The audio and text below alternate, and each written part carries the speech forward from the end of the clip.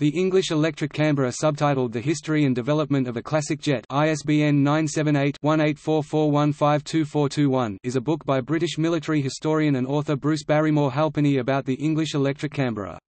Illustrated throughout, the book includes interviews with Wing Commander K. H. Wallace, the man Halpenny attributes as having saved the Canberra.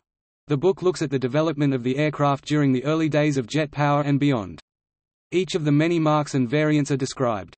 The type's record of service with RAF squadrons is given together with descriptions of the many experimental models. In the introduction, the author states, it was a matter of producing either a technical book, or one that would appeal to a wider readership, setting out the true Canberra story, marks, variants, overseas orders, squadrons, records, experimental Canberras, camouflage, markings, and most importantly, the truth about bombing up the aircraft, also serious problems with which the Canberra was sent out to operational RAF stations.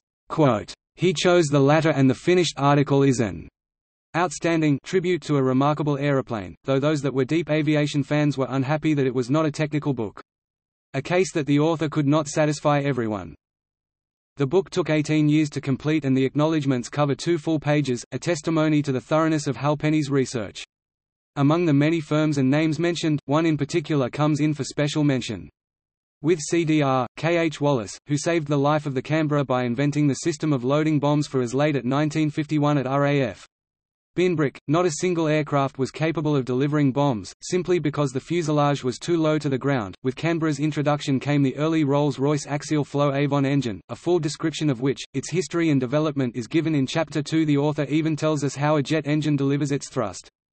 The book displays a collection of photographs, some never seen before, also the history and deployment of no less than 81 squadrons each of which flies the Canberra in its various marks and roles.